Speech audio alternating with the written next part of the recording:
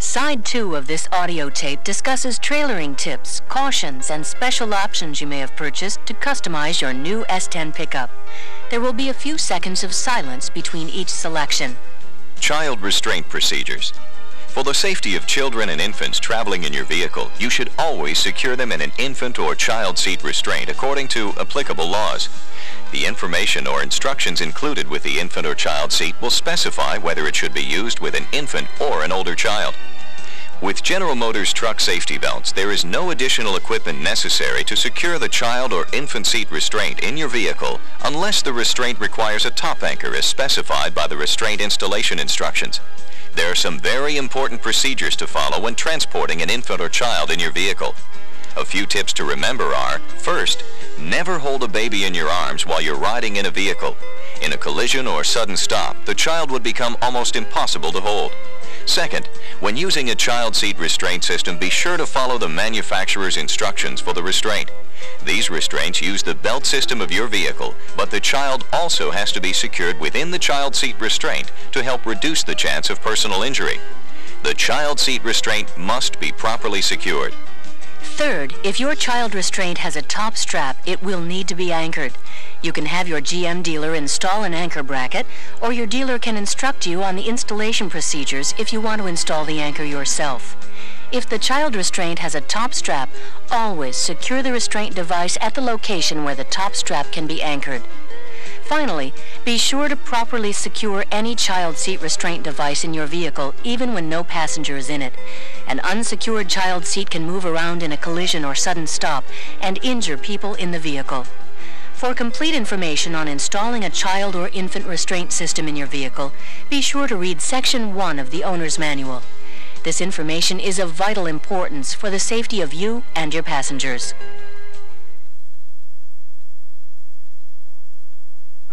Off-road driving. For both you and your passengers' safety, please drive your pickup with care, both on or especially off-road. Two very important factors to keep in mind when off-roading are that both you and your passengers always wear safety belts and that you always drive on marked trails. As a special note, be sure to read the section in your owner's manual on off-roading safety tips and driving procedures. You'll find the information extremely helpful.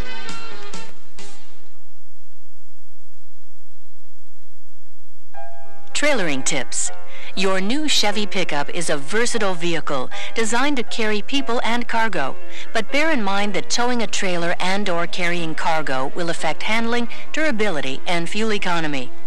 The certification label on the driver's door lock pillar offers information on maximum gross vehicle weight, maximum gross axle weights your vehicle can safely handle, and recommended tire inflation pressures. The maximum loaded trailer weight your vehicle can tow depends upon the total weight of the vehicle, including passengers, cargo, and additional options purchased. To learn more about the trailering aspects of your vehicle, your Chevy dealer can supply you with product literature which includes trailering tips and cautions and can assist you in determining that your needs don't exceed the load or trailering capabilities of your new vehicle. The type of hitch you have is very important. If you have an aftermarket hitch, make sure it's properly installed and adjusted. Two very important hitch considerations for trailer weights over 2,000 pounds are that 1. The hitch is a frame-mounted weight distributing hitch, and 2. You install a sway control system of adequate capacity. Improper trailering or not following recommended trailering tips and cautions may cause handling problems. On trailer weights over 1,000 pounds, you should have trailer brakes. You can tow trailers lighter than 2,000 pounds with a step bumper hitch, but if your trailer tongue has a V-shaped foot, your bumper could be dented in sharp turns. See Section 4 in the Owner's Manual for ways to correct this problem, and be sure to read the precautions and special techniques to use when towing a trailer.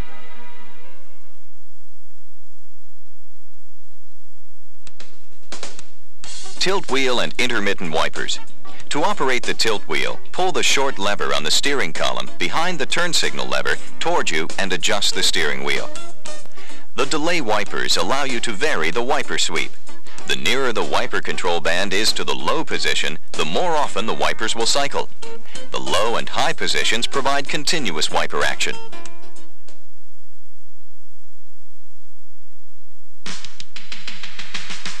Cruise control. The multifunction turn signal lever also regulates the operation of cruise control.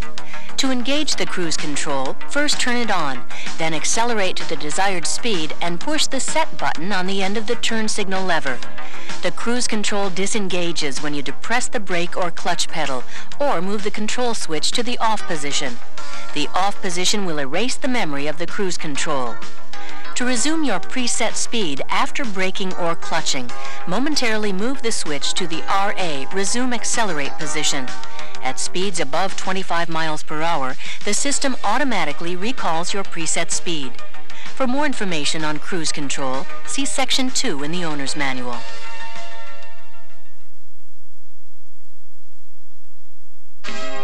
Four-wheel drive systems. With four-wheel drive, you'll be able to keep your vehicle moving through a wide variety of road conditions. You should avoid driving on dry pavement while in four-wheel drive. Driving with four wheels engaged on dry pavement will increase tire wear, cause hard transfer case shifting, and reduce fuel economy. If you have a manual Instatrac system, you can shift from two-wheel drive to four-high or four-high back to two-wheel drive at any speed. The front axle portion of the diagram on the transfer case indicator will light up when you shift into a four-wheel drive mode. As a special note, there may be a slight delay between shifting and the indicator light illuminating. If the front axle light on the transfer case shift console does not come on after shifting into a four-wheel drive mode, or the light stays on after shifting out of a four-wheel mode, see your authorized Chevrolet dealer for a system check. To shift into or out of 4 low or neutral, the vehicle speed must be below 3 miles per hour.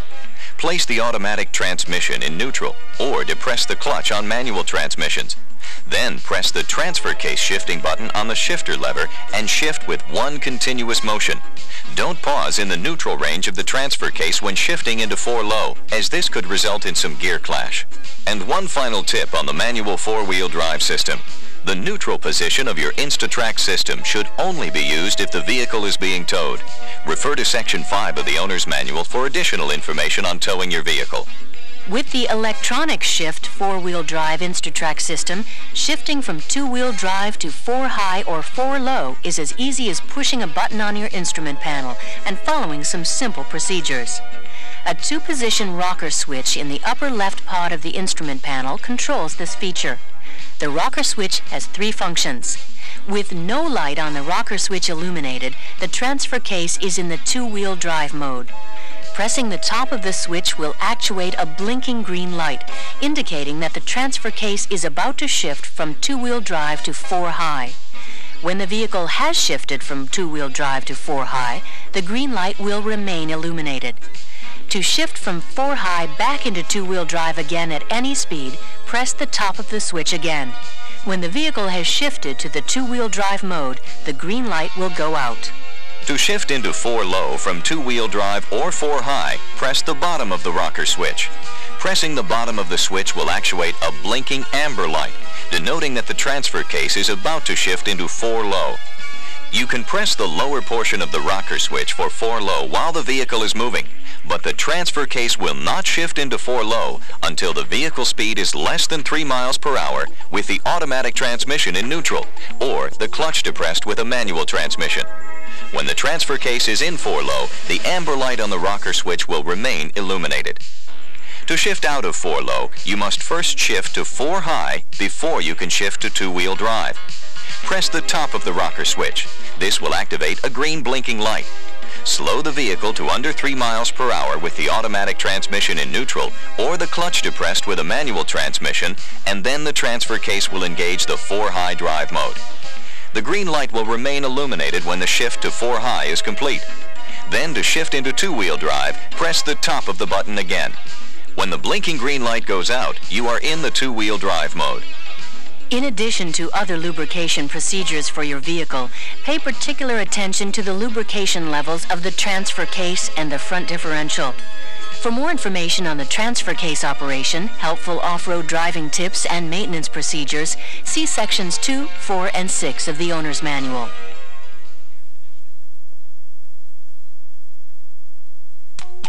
Air conditioning. Besides the heating and ventilation operations described earlier in this presentation, there are additional controls for the air conditioner. The right lever mode selector handles various cooling and heating requirements. The left temperature selector controls air temperatures from cold at the bottom to hot at the top. For maximum cooling, the max AC position recirculates interior air with very little outside air. Use this position with the temperature lever in the full down, cold position. The norm AC position pulls in outside air, cools it, and then discharges it through the upper dashboard outlets. The bi-level AC position directs air through the upper and lower outlets.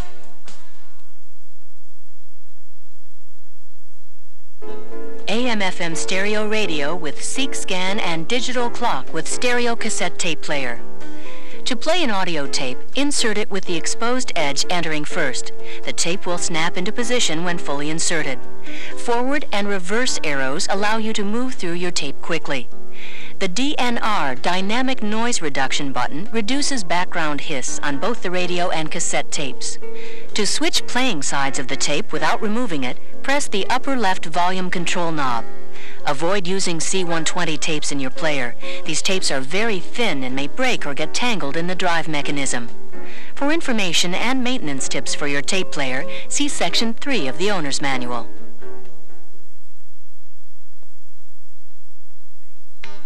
AM stereo, FM stereo radio with Seek Scan and digital clock, and stereo cassette tape player with search, repeat, and graphic equalizer. To play an audio tape, insert it with the exposed edge entering first. The tape will snap into position when fully inserted. To advance the tape, press the forward button. To rewind to an earlier portion of the tape, button. To stop the forward or reverse movement, press the opposite button lightly. To listen to the next selection on a cassette tape, first slide the search button to the right and then depress the forward button. The tape will automatically stop at the next selection. By using the reverse button, you can replay the tape selection which you just played. To switch playing sides of the tape without removing it, press the upper left volume control knob. The loudness button boosts the bass frequencies when the stereo is played at low volumes. The CRO2 chromium dioxide button adjusts the audio quality for chromium or metal tapes, and the AM-ST button is for AM stereo broadcasts. The graphic equalizer adjusts the frequency response ranges of your stereo. Avoid using C120 tapes in your player. These tapes are very thin and may break or get tangled in the drive mechanism. For information and maintenance tips for your tape player, see Section 3 of the Owner's Manual.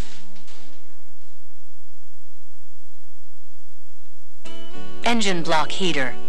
This feature is designed to keep your engine block warm for improved cold weather starting. To use the heater, open the hood and unwrap the electrical cord stowed in the engine compartment. Plug the cord into any three-prong 110-volt AC outlet. If the cord is too short, use a heavy-duty three-prong extension cord.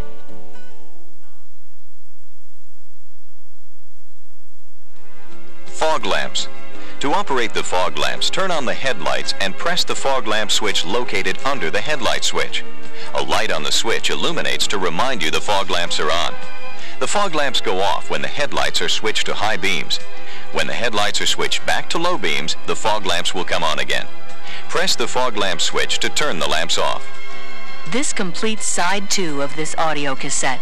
We thank you for taking the time to listen, and again, congratulations on the purchase of your S10 pickup.